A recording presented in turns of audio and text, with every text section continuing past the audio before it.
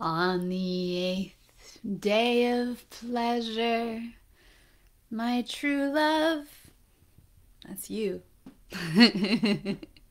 gave to me. Become your own king.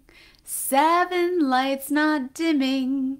Six ways of playing. Five golden rings. Brains with no words. Three sex dens. Two, no one. Love and trust and erotic sovereignty.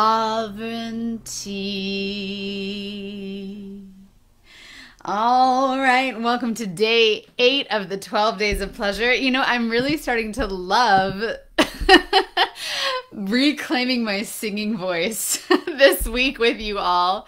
Um, it's been super fun. If you haven't watched the other 12, plays, 12 Days of Pleasure, you could just find the hashtag. And every day, what I'm doing is giving you a sex mastery tip, something that I've learned over the past 20 years that will help bring you into your full aliveness, your full pleasure, and your total sexual freedom. And the past couple days have been really rich, really juicy, really deep. And this one is going to be just like those, if not even deeper. If you want to feel all of these tips fully embodied in your being, if you're getting curious and you're if you're finding a tingling in your body as you listen to me, wondering what it must be like to live your life this way, make sure that you join us at Pleasure Alchemy, which is happening in just 5 days. Cinco, five days. I'm so fucking excited. the people that are already joining, you guys are amazing. Um, let me know if you're joining. You can put a GIF in there. Um, let us know that you're going to be a part of Pleasure Alchemy. It is such a fucking hot weekend, a highly transformational weekend. The community itself is incredible for you to fall into it. You're going to absolutely love it. So if you haven't gotten your tickets yet, if you go to the top of my Facebook page and just click on my cover photo, you will grab, you can grab a ticket there. And if you're not already in the pleasure circle, join in there because you'll get lots of freebies, lots of gifts in there that pertain to the Pleasure Alchemy weekend. Okay, so tonight I'm going to be diving into a topic that gets my bones boiling. this is a topic all about this new paradigm of king and queendom, right? And all of these masculine feminine teachings about finding your divine king finding your divine queen right? Becoming your own queen um, being the queen in your relationship and finding your king or waiting for your king to come along.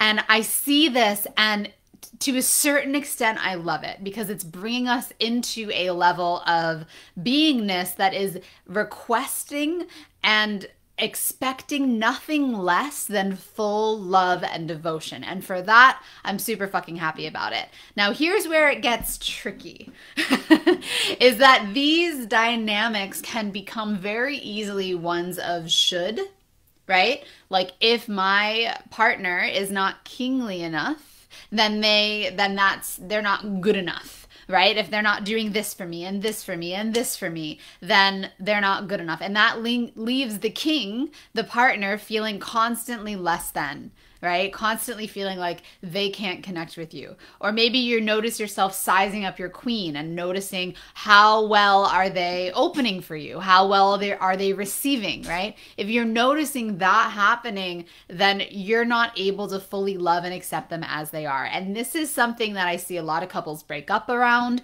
I see a lot of sexuality get really thwarted around this conversation where we start to demand from the other right? We start to demand for them to change. We start to demand for them to be more something.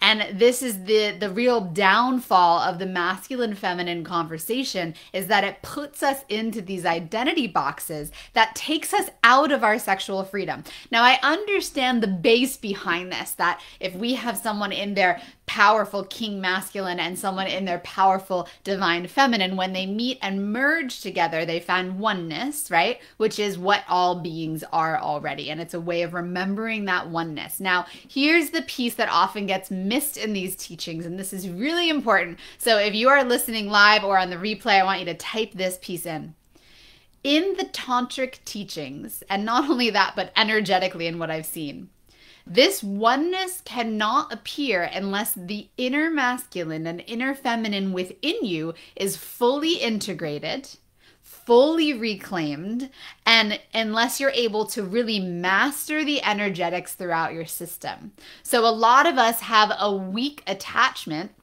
right to certain energy types. This is when i play with where people struggle in sex mastery. I see this a lot right? Not knowing how to move the energy within our own bodies or within the person in front of us. How do we polarize? How do we meet the other person energetically right? These are these are tips that are not taught and these are tips that you can't read about in the masculine feminine dynamics because the masculine feminine dynamics are forcing you and your partner to fit into these labels instead of teaching you something that um, um, I like to call the energetic agility, right? Or the movement of energy through your own body and the person in front of you. So, how do we reclaim this energetic movement within our system? Those of you that know me already know the answer. You can type it in if you already know. It's funny in my pleasure creation, which is my sex and business mastermind, where I help people come to 10K and owning their eros and it's so much fucking fun. I fucking love that group. The whenever they ask me a question they answer it on their own. Like they go to ask me a question and they're like oh fuck genevieve you're gonna tell us to self pleasure right? Because this is the answer right? There's a level of erotic sovereignty. There's a level of saying okay the inner king in me and the inner queen in me get to mix and i get to become royalty I get to become the entire fucking kingdom. I get to become oneness of being. And I can look at my partner and I can see their inner king and I can see their inner queen, right? Rather than saying, oh, that one's not allowed here. right? Like, oh, you shouldn't be that, or that one's not allowed here, right? Oh, I see the queen, I see the king, and I see the oneness and the royalty in them. And then what I get to do is I get to dance within that. So if they're feeling in, let's just give it a label for just the sake of this conversation, if they're in their king energy, then I go, ooh, how deeply can I be in my queen? Right? Where can I allow that to show even more up in my body? How do I bring that those energetics through my system? This is something that I will be focusing on at Pleasure Alchemy if you desire. A lot of Pleasure Alchemy is designed toward you, so there's going to be a lot of segments where you can come in and talk to me and ask me questions. So this is one that if this is like hitting you and you're like, "Fuck yeah, Genevieve, this is what I want." Make sure to come to Pleasure Alchemy and ask me to bring this up and we can actually go through an integrated embodied experience where you marry your king and queen physically in your body to then create from that space of being. If your partner is in their queen energy, and I don't care if they have a cock, I don't care if they identify as masculine. I don't they can still be in their fucking queen energy because it is just as much alive in them as it is in you. If they are in that energy, we do not scold, we do not judge, we do not say that they are less than, we do not try to fix them. We see it, we honor the divinity, we honor the royalty there, and we put ourselves into our own king energy. And then we get to watch along the way. Where are the parts of me that I have disowned this energetic in my body? Where are the parts of me that I'm not allowing myself myself to be whole and one? Where are the parts of me that I have told myself that I can only be one way and not the other? Whenever those boxes are in place, you are not fully free in your sexuality. And sexual freedom, as well as freedom of love, right, comes from this deep love and acceptance of all of the energetics that are at play. Sexual mastery appears when you're able to dance within the different polarities, all of them. It's a sphere, it's not just masculine, feminine, but all of them at all times. See them clearly, right? And then figure out how can you best be right? And the most loving and accepting and sexy way possible, responding to whatever energies inside you or outside of you, right? What is the best response or the best movement that's asking to be birthed through you in that moment. That is sexual mastery. And that is how we truly get to love ourselves and the people around us without putting on these stereotypes and these identifications of should or have tos, which is something that I see really showing up in the masculine feminine dynamic right now, right? The king not being man enough or not being this enough, right? And there's this whole like, we need to reclaim the men of the world, right? Like, okay, great. And what about the parts of them that are queens? And what about the part in you, sweet vulva bodied human who has a deep king part of you that have you have disowned, right? How much of you have you wanted to go and penetrate the world? Where have you wanted to go and claim things? Right? How much is this tied to your wealth creation? Can you show up on a sales call and claim it and own it? right? Just as as a cock-bodied king can right? Or have you decided that because you're the feminine receptivity that you can't go out and get what you want?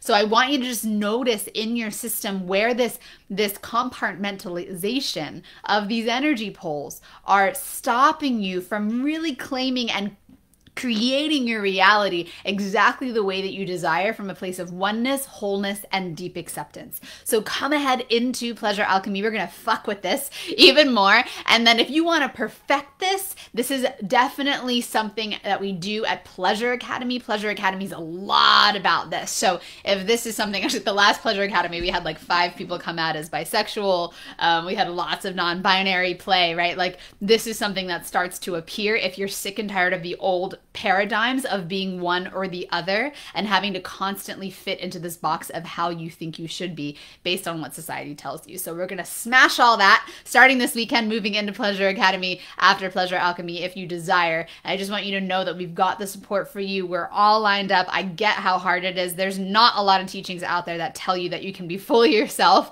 and that you're not doing it wrong to be fully yourself because you're really fucking not, right? So I just want you to celebrate all of you, claim all of you, let it all out, right? And from that state of being, what can you create?